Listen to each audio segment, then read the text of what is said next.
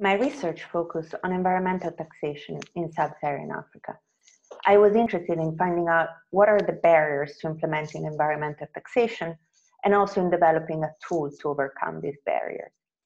In fact, countries in sub-Saharan Africa are extremely vulnerable to environmental degradation, and also they have low public revenues. In principle, environmental taxation could help in both those areas, but in reality, the countries in the region often face significant obstacles in introducing such measures. For example, they have low administrative capacity, and on top of that, unfortunately, there is a lack of guidance tailored to their needs.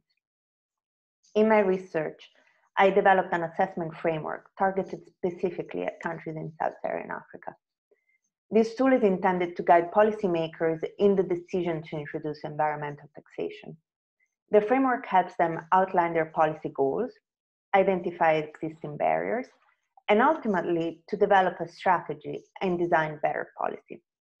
My research resulted in a paper, which will be published soon, and I also presented it at a global conference on environmental taxation in Cyprus.